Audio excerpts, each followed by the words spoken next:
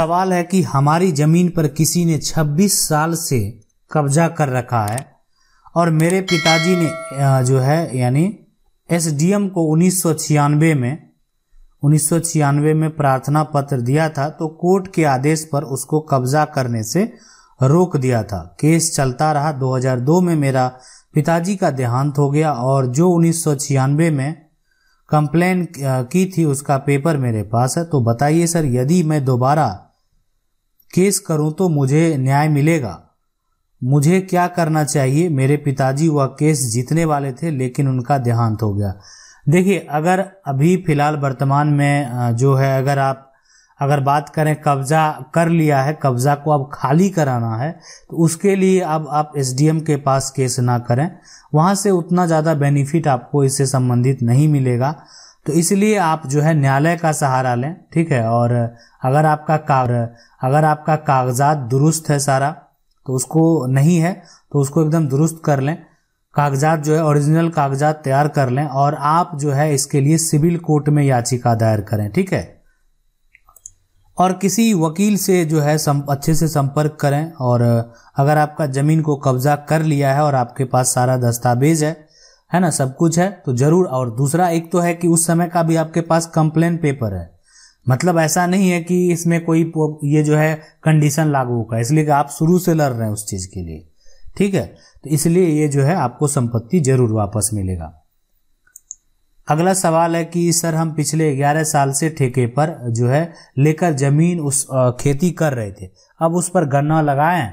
अब हम मालिक जो है फ़सल काटने को कह रहा है, क्या हम उसमें कोई समाधान?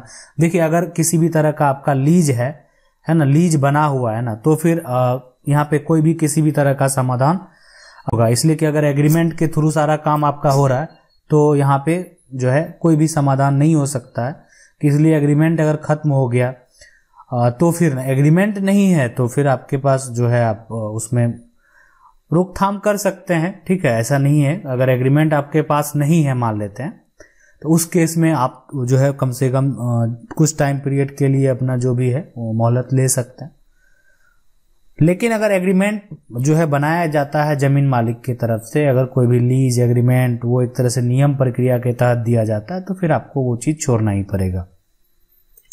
अगला सवाल है कि सर जी, मेरा अंकल का ज़मीन है और जो है हिंसा खत्म हो, हो गया था और उसने अपने बेटे के नाम से डीड कर दी।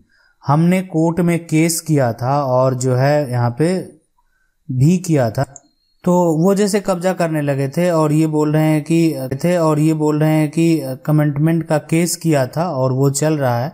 उसके बाद फिर ज़मीन बेच दिया मगर रजिस्ट्री में लिखा है कि केस चल रहा है और पुलिस भी जो है कुछ नहीं करती है।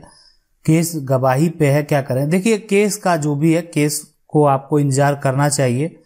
और मगर जो रजिस्ट्री में जो है ये चीज़ तो स्पष्ट लिखा हुआ रहता है ना कि वहाँ पे अगर किसी भी ज़मीन पे केस नहीं चल रहा तभी रजिस्ट्री करना। तो जम, ये रजिस्ट्री में जो है ये मेंशन कर देना कि इस पे केस चल रहा है। तो ये तो सही नहीं लग रहा। है ठीक है? तो लेकिन फिर भी आपको जो है एक तरह से जजमेंट पे विश्वास रखना चाहिए। जजमेंट आने के बाद उसके बीच में अगर कुछ भी इलीगल होगा ना तो सारा वो खत्म हो जाएगा। अगला जो सवाल है कि ये पूछ रहे हैं, सर जी, आपकी जो है सभी वीडियो अच्छी होती है, जिसके लिए धन्यवाद। मेरा ये सवाल है कि मेरे दादाजी जो है बख्शिश नामा 2003 में किए थे। हम तीन जो है भाई हैं। एक भाई जो बालिक था, दो भाई नाबालिग। तो मेरे जो है यहाँ पे पिताजी थे। ठीक है? मेरे जो भाई और यहाँ पे जो है संरक्षक, है ना, मेरे पिताजी थे। मेरे भाई और जो है मिल के 2006 में ज़मीन का, है ना, को जो है लोगों को बेच दिया। 2006 में अगर बेच दिया ना, बिना मेरे जानकारी के, कुछ ज़मीन में जो है वो यहाँ पे तो कुछ ज़मीन में जो है बालिक थे तो क्या वो ज़मीन वापस आप नाबालिग थे या बालिग थे? आपका ज़मीन वापस आ सकता है, लेकिन इसके लिए आपको जो है अपने पिता के ऊपर हिस्से के लिए केस करना पड़ेगा। अगर पिता के द्वारा, भाई के द्वारा जिनके द्वारा बेचा गया, उनको अपने हिस्से के लिए जो है आपका, अगर वो दादा की संपत्ति है, परदादा की संपत्ति है मतलब पिता अपने कमाई से उसको नहीं खरीदे हैं तो आप पिता के ऊपर केस फ़ाइल कर सकते हैं। और अपना हक के लिए वो लड़, वो लड़ाई लड़ सकते हैं आप अपना हिस्सा को अलग कर सकते हैं ठीक है? और वो बेचते हैं उस पर तो वो उस पर भी आप जो है एक्शन ले सकते हैं। अगर तत्काल में हो तो बिल्कुल एक्शन लेना ही चाहिए। अगर आप उसके खिलाफ है संपत्ति है एक दो रुपये की नहीं होती है संपत्ति।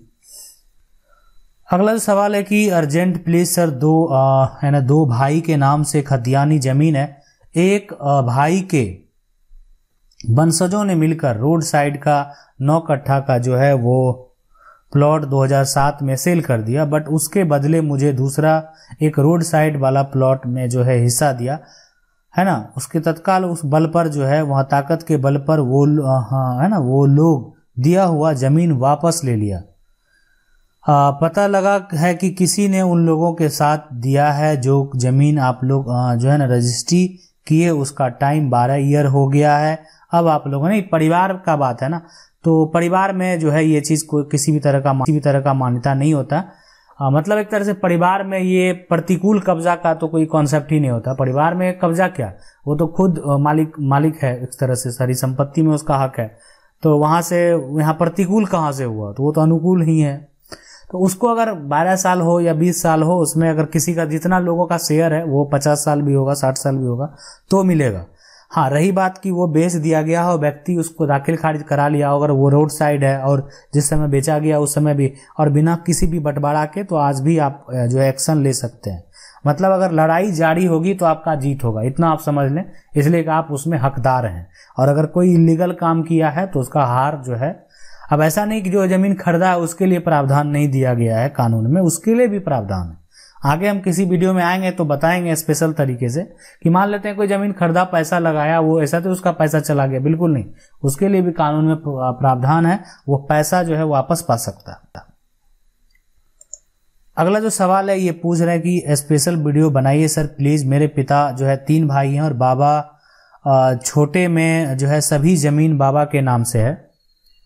जो खरीदे हैं, तीनों भाई ने मिलकर पैसे दिए और बाबा अपने नाम पे लिखा लिए। और सभी ज़मीन को जो है, छोटे के नाम करने के बात करते हैं। यहाँ तक कि एक ज़मीन कर दिए हैं, हम लोग बहुत परेशान। नहीं, देखिए, यहाँ पे सबसे पहली बात है ना कि अगर, देखिए, बाबा जो है ना तो बाबा का इनकम का क्या स्रोत है? सबसे बड़ी बात होती है ना कि ऐसा नहीं होता कि बाबा ज़मीन लिखा लिए। अगर मान लेते हैं दस लाख की ज़मीन है, बाबा दस लाख ज़मीन, दस लाख बाबा कहाँ से लाए? दस लाख पिता कहाँ से लाए? तो पैतृक संपत्ति को अगर बेच कर कोई भी, या मान लेते जो इनकम कर रहा है, वो उसको पैसा दिया तो ये चीज़ तो आपको प्रूफ करना पड़ेगा। तो ये चीज़ है ना? तो ये चीज़ अगर आप सोचेंगे कि अगर आप सोचेंगे कि अगर बाबा के नाम से ज़मीन है, बाबा किसी को दे रहे हैं तो यहाँ पे किसी अधिकारी पर अगर सोचेंगे कोई आपका मदद करे तो उतना आसान नहीं होगा।